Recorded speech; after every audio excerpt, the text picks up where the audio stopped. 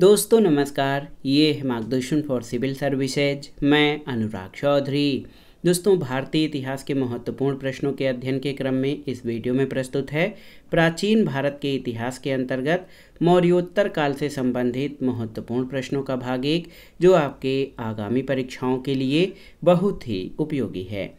तो आइए शुरू करते हैं। प्राचीन भारत के इतिहास के अंतर्गत मौर्योत्तर काल से संबंधित महत्वपूर्ण प्रश्न। पहला प्रश्न है, निम्नलिखित में से क्या ईसा की प्रथम सदी के आसपास विकसित मथुरा कलाशाला में मूर्ति कला के लिए प्रयुक्त होता था?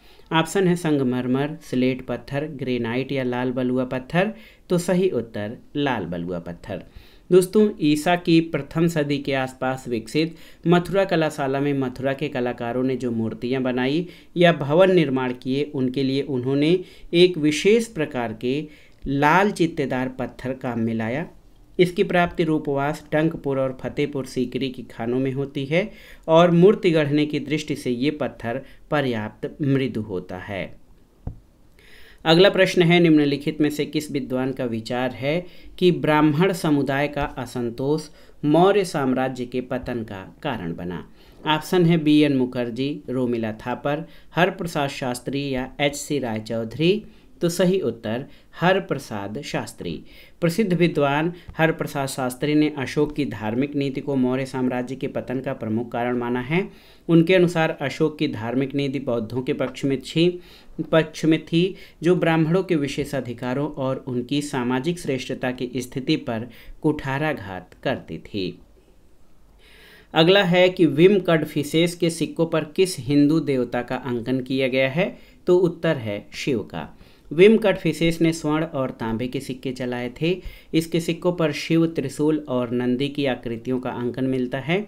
इसने माहेश्वर नामक उपाधि धारण किया था। अगला प्रश्न है, निम्नलिखित अभिलेखों में किसमें सार्थवाह शब्द प्रयुक्त हुआ है, आपको बताना है। ऑप्शन है, इलाहाबाद स्तंभ लेख, मथुरा स्तंभ लेख मान कुंवर लेख या दामोदरपुर ताम्रपत्र लेख तो सही उत्तर, दामोदरपुर ताम्रपत्र लेख। गुप्तकालीन दामोदरपुर ताम्रपत्र अभिलेख से इस तथ्य की पुष्टि होती है कि नगर प्रशासन में श्रेणी सार्थवाह की भूमिका का प्रचलन गुप्त काल और प्रतिहार काल में था। अगले प्रश्न पर आते हैं। मथुरा से प्राप्त खड़ी मुद्रा की आदम कद प्रतिमा संबंधित है। किस काल से? तो सही उत्तर, कुषाण काल से। मथुरा से प्राप्त खड़ी मुद्रा की आदम कद प्रतिमा कुषाण काल से संबंधित है। मथुरा के शिल्पी यक्ष तथा नाग की सुंदर मूर्तियाँ बनाने में अत्यंत निपुण थे। अगला प्रश्न है, किस राजवंश के शासकों ने शीशे के सिक्के चलाए थे? तो आप जान लीजिए, ये थे सातवाहन वंश। दोस्तों, सातवाहन राजवंश के शासकों ने शीशे के सिक्के चलाए थे। हिंद यवन शासक स्ट्रेटो दुती ने सीसे के सिक्के चलाए थे। अगला प्रश्न है, निम्नलिखित में से किस भाषा में खारवेल का हाथी गुम्फा लेख उत्कीर्ण है? ऑप्शन है प्राकृत, पाली, संस्कृत या कोई नहीं तो सही उत्तर प्राकृत में। कलिंग के चेद वंश के सबसे प्रतापी शासक खारवेल का हाथी गुम्फा अभिलेख है। इसके विषय में जानकारी का प्रमुख स्रोत ये अभिलेख है और ये लेख प्राकृत भाषा में है और प्राचीन भारतीय इतिहास के लिए इसका बहुत अधिक महत्व है। अगला प्रश्न है अपने वाहन वृषभ के साथ शिव का मूर्त रूप में अंकन सबसे पहले किसके सिक्कों पर मिलता है? तो सही उत्तर आपका हो जाएगा विम कडफिसेस ऑप्शन ए। दोस्तों विम कट फिशेस के सिक्कों पर शिव, नंदी और त्रिशूल की आकृतियाँ मिलती हैं। इससे उसका शैव मतानुयायी होना भी सूचित होता है। उसने माहेश्वर की उपाधि धारण की थी। अगला प्रश्न है, निम्नलिखित में से कौन सा शासक भिक्षु नागसेन से प्रभावित हुआ था? ऑप्शन है कनिष्क, हुविष्क, वासुदेव या मिनेंडर। तो सही उत्तर है मिनेंडर। दोस्तों, याद रखिएगा, बौद्ध भिक्षु नागसेन से शासक मिनांडर प्रभावित हुआ था और मिनांडर और उसके पुत्र स्ट्रेटो प्रथम के सिक्के मथुरा से प्राप्त होते हैं। अगले प्रश्न पर आते हैं कि कण्व वंश के निम्नलिखित शासकों पर विचार कीजिए और उन्हें कालक्रम के अनुसार व्यवस्थित कीजिए। वासुदेव, नारायण, भूमिपुत्र या और सुशर्मन। तो नीचे दिए गए कोड का प्रयोग करके सही उत्तर का चयन करिए और इसमें आपको कड़व वंश के शासकों का मिलान करना है। तो क्रम निर्धारित करना है। तो सबसे पहले वासुदेव, फिर भूमिपुत्र, फिर नारायण और सुशर्मन, ऑप्शन बी आपका सही उत्तर हो जाएगा। आप देख सकते हैं कड़ वंश में कुल चार शासक हुए। वासुदेव, भूमिपुत्र, नारायण और सुशर्मन। कड़वंशी शासकों ने 45 वर्षों तक शासन किया। वसुदेव इस वंश का संस्थापक था, जिसने अंतिम सुंग नरेश देवभूत की हत्या करके सत्ता प्राप्त की थी। सुशर्मा इस वंश का अंतिम शासक था, जिसकी हत्या सातवाहन शासक सिमुक ने की थी। पुराणों में कड़व वंश के शासकों को सुंग भृत्य कहा गया है। अगला प्रश्न है, उस राजवंश का नाम क्या था, जिसने हत्या कर सत्ता हथियाई और जिसका अंत भी हत्या के द्वारा हुआ था? ऑप्शन है, चोल, सुंग, कुषाण या गुप्त वंश। तो सही उत्तर, सुंग वंश। अंतिम मौर्य सम्राट बृहद्रथ की हत्या करके इसका सेनापति पुष्यमित्र शुंग ने सुंग वंश की स्थापना की थी। अंतिम शुंग शासक देवभूत के मंत्री वासुदेव ने इसकी हत्या करके पचहत्तर ईसा पूर्व में कड़व वंश की नींव डाली थी, लेकिन अंततोगत्वा अंतिम कड़व शासक सुशर्मन की हत्या तीस ईसा पूर्व में सिमुक ने कर दी और एक नवीन ब्राह्मण वंश आंध्र वंश आंध्र सातवाहन वंश की नींव डाली थी। दिव्यावदान में पुष्यमित्र सुंग का चित्रण बौद्ध धर्म के संहारक के रूप में किया गया है और थेरावली की रचना चौदहवीं सदी के जैन लेखक मेरुतुंग ने की थी। इस ग्रंथ में उज्जैनी के शासकों की वंशावली दी गई है, जिसमें पुष्यमित्र का उल्लेख है। और सातवाहनों ने सबसे पहले जो है, प्रथम शताब्दी ईस्वी में भूमिदान की प्रथा आरंभ की थी।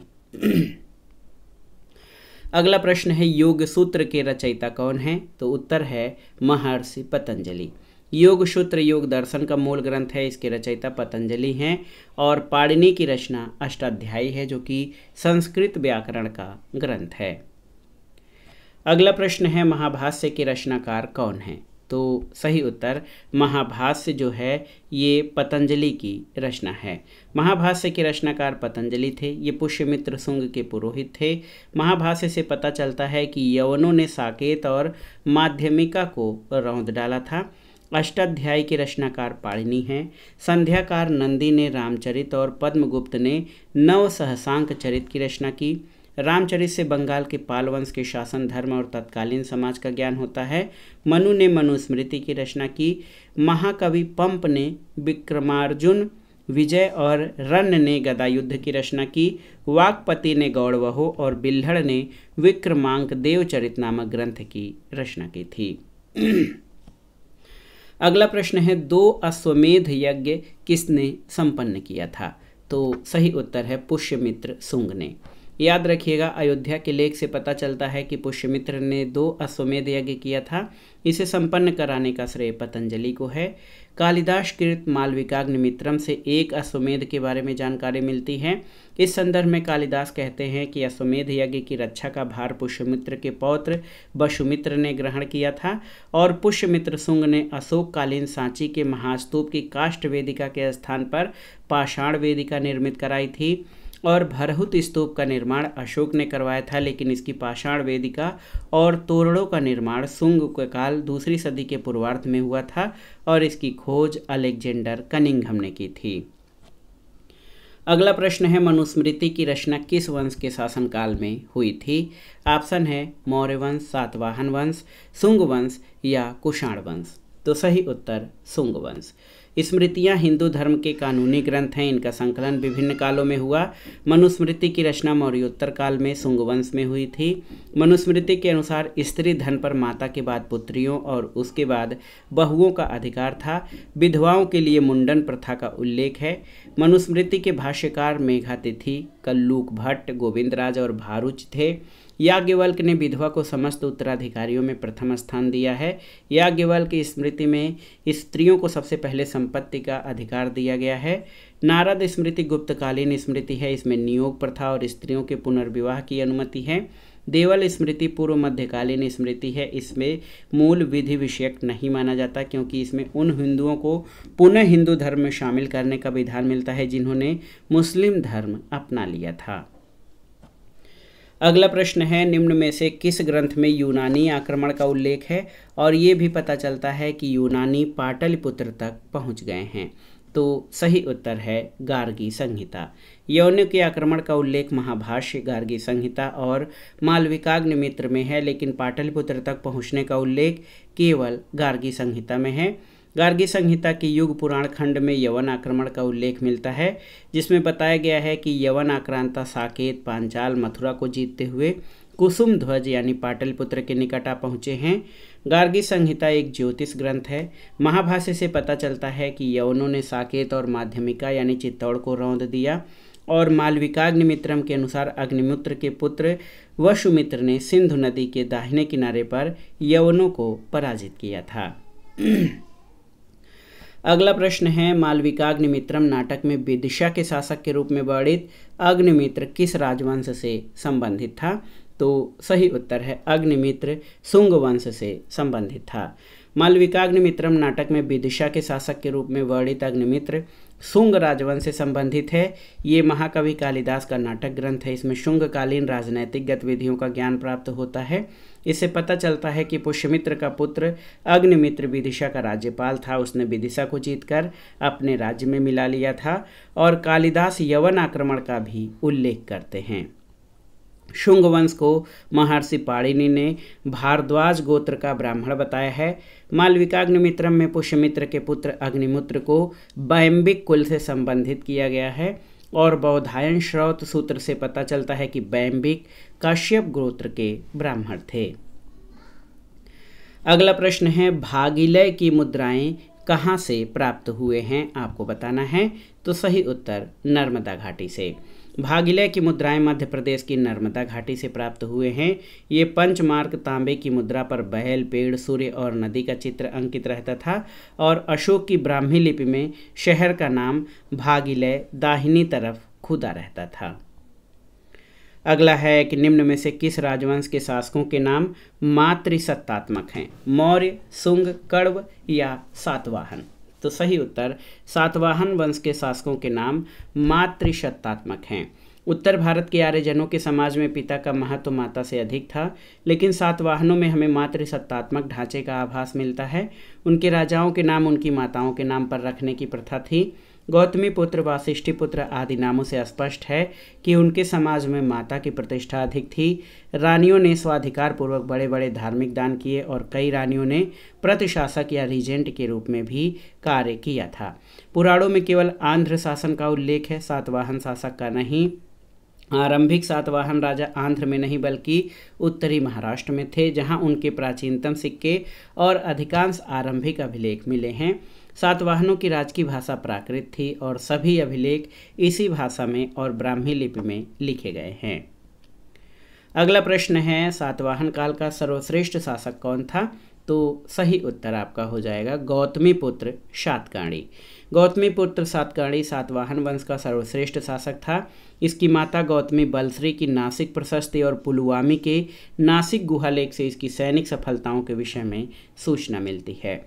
नासिक प्रशस्ति से पता चलता है कि गौतमी पुत्र सातकाड़ी के वाहनों ने तीनों समुद्रों, बंगाल की खाड़ी, अरब सागर और हिंद महासागर का जल पिया था। और गौतमी पुत्र ने नासिक ज़िले में बेड़ा कटक नाम से एक नगर का निर्माण कराया था। बृहद कथा से ज्ञात होता है कि हाल की एक रानी मलयवती संस्कृत भाषा की विदुषी थी। अगला प्रश्न है, सातवाहन शासक सातकाड़ी प्रथम द्वारा अश्वमेध यज्ञ कराने का उल्लेख किसमें मिलता है, आपको बताना है। नाना घाट अभिलेख, नासिक अभिलेख, अजंता अभिलेख या इनमें से कोई नहीं तो सही उत्तर है नाना घाट अभिलेख, ऑप्शन ए। दोस्तों, नागनिका के नाना घाट से सातकाड़ी प्रथम के शासनकाल के विषय में महत्वपूर्ण जानकारी मिलती है। इसी अभिलेख से जानकारी मिलती है कि उसने दो अश्वमेध यज्ञ तथा राजसू यज्ञों का अनुष्ठान कराया था। अश्वमेध यज्ञ के बाद उसने अपनी पत्नी के नाम पर रजत मुद्राएँ उत्कीर्ण कराई थीं। नागनिका का नाना घाट का अभिलेख महाराष्ट्र के पूना ज़िले में स्थित है और सात सातकाड़ी प्रथम प्रारंभिक सातवाहन नरेशों में सबसे महान था। अगला प्रश्न है, सातवाहनों को आंध्र भृत्य कहकर भी संबोधित कहा, किया गया है किसमें? ऑप्शन है मनुस्मृति महाभाष्य, मृक्ष कटिकम या पुराणों में तो सही उत्तर आपका हो जाएगा पुराणों में। सातवाहनों को आंध्र भृत्य या आंध्र जाति कहकर पुराणों में संबोधित किया गया है। सातवाहन इतिहास के लिए मत्स्य और वायु पुराण विशेष रूप से उपयोगी हैं। पुराणों में सातवाहन वंश के कुल तीस राजाओं के नाम मिलते हैं, जिन्होंने लगभग चार शताब्दियों तक शासन किया था। अगला प्रश्न है, निम्नांकित में से किस राजा ने वर्ण संकरता की प्रथा को समाप्त करने का दावा किया है? ऑप्शन है गौतमी पुत्र सातकाणी खारवेल, पुष्यमित्र सुंग या प्रवरसेन प्रथम। तो सही उत्तर गौतमी पुत्र सातकाणी ने। नासिक प्रशस्त में सातवाहन शासक गौतमी पुत्र सातकाणी को एक ब्राह्मण, अद्वितीय ब्राह्मण आगम निलय वर्ण व्यवस्था का रक्षक और वर्ण संकरता की प्रथा को रोकने वाला कहा गया है। उसने शक विजय के उपलक्ष्य में वेड़ा कटक नगर की स्थापना की थी। इसका समकालीन समशासक शक शासक जो है, वो नहपान था। कलिंग के चेद या महामेघवाहन वंश के शासक खारवेल ने राजर्ष वृद्धराज, कलिंगाधिपति आदि उपाधियाँ धारण की। सुंग सम्राट पुष्यमित्र की सर्वाधिक प्रचलित उपाधि सेनानी या सेनापति थे। प्रवर सेन प्रथम वाकाटक वंश का एकमात्र शासक था जिसने सम्राट की उपाधि धारण की थी। उसने चार अश्वमेध यज्ञ किए थे। अगला प्रश्न है, निम्नलिखित में से कौन सा सातवाहन शासक सको, यवनों और पहलों के संहारकर्ता के रूप में जाना जाता है? ऑप्शन है, हाल सिमुख सातकाणी प्रथम या गौतमी पुत्र सातकाणी? तो सही उत्तर, गौतमी पुत्र सातकाणी। पुलवामी के नासिक लेख में गौतमी पुत्र सातकाणी को शक यवन और पहलाओं का विनाश करने वाला, छहरात कुल का उन्मूलन करने वाला और सातवाहन कुल की प्रतिष्ठा को पुनः स्थापित करने वाला कहा गया है। गौतमी पुत्र तथा यज्ञश्री ने नासिक में एक एक बिहार बनवाए थे। कन्हेरी के लेख से पता चलता है कि गौतमी पुत्र के पुत्र पुलवामी का विवाह रुद्र दामन की कन्या से हुआ था। अगला है निम्नलिखित में से कौन सा अभिलेख शकों और पहलों के विषय में जानकारी के महत्वपूर्ण स्रोत नहीं हैं? नासिक गुहा लेख, जुन्नार का गुहा लेख, तख्तेबाही का लेख या सुई विहार का लेख? तो सही उत्तर, सुई विहार लेख। सुई विहार बहावलपुर का अभिलेख शकों और पहलों के विषय में जानकारी का स्रोत नहीं है। सुई बिहार अभिलेख सिंध क्षेत्र के कनिष्क के अधीन होने का संकेत देता है और राजतरंगड़ी से ज्ञात होता है कि कश्मीर कनिष्क के साम्राज्य का एक अंग था। यहाँ उसने कनिष्कपुर नगर की स्थापना की थी और एक स्तंभ भी खड़ा कराया था, जो आज भी उसके नाम से विख्यात है। शकों और पहलों के विषय में जानकारी का महत्वपूर्ण स्रोत नहपान कालीन नासिक के गुहालेख जुन्नार का गुहालेख गोंडो फर्नीज के तख्ते बाही लेख इत्यादि हैं। अगला प्रश्न है, यवनों का साकेत और माध्यमिका पर आक्रमण वर्णित है, किस ग्रंथ में आपको बताना है? तो सही उत्तर, युग पुराण और महाभाष्य में। पुष्यमित्र सुंग के समय हुए यवन आक्रमण का उल्लेख गार्गी संहिता, मालविकाग्निमित्रम और पतंजलि कृत महाभाष्य में हुआ है। गार्गी संहिता की युग पुराण अध्याय में वर्णित है कि यवन, साकेत, पांचाल और मथुरा को जीतते हुए कुसुम ध्वज तक आ गए थे। पतंजलि के महाभाष्य के अनुसार यवनों ने साकेत और माध्यमिका को रौंद डाला था। कालिदास की रचना मालविकाग्निमित्रम के अनुसार अग्निमित्र के पुत्र वसुमित्र ने सिंधु नदी के दाएँ किनारे पर यवनों को हराया था। अगला प्रश्न है, बहुत ही महत्वपूर्ण है, गौतमी पुत्र सातकर्णी के राज चिन्ह से युक्त मुद्राओं वाला शक शासक कौन था? बहुत ही महत्वपूर्ण प्रश्न है ये आपका। गौतमी पुत्र सातकाणी के राज चिन्ह से युक्त मुद्राओं वाला शक शासक कौन था? तो सही उत्तर, नहपान। नहपान जो कि छहरात वंश का था, लगभग 119 से 125 ईस्वी तक राज्य किया, वो सातवाहन नरेश गौतमी पुत्र सातकाणी द्वारा पराजित हुआ और मार डाला गया। जोगल थम्बी से प्राप्त नहपान के बहुसंख्यक सिक्के गौतमी पुत्र सातकाणी द्वारा पुनरंकित किए गए हैं। इससे ऐसा प्रतीत होता है कि गौतमी पुत्र ने नहपान के जोगल थम्बी स्थित कोषागार पर अधिकार कर लिया था। अगला प्रश्न है गौतमी पुत्र सातकाणी की माँ कौन थी? आपको बताना है। तो सही उत्तर है गौतमी। सातवाहन शासक गौतमी पुत्र सातगाड़ी की माता का नाम गौतमी बलश्री था। गौतमी पुत्र सातगाड़ी के विषय में जानकारी का मुख्य स्रोत नासिक प्रशस्ति है, जिसे उसकी माता ने वासिष्ठी पुत्र पुलवामी के शासनकाल में उत्कीर्ण कराया था।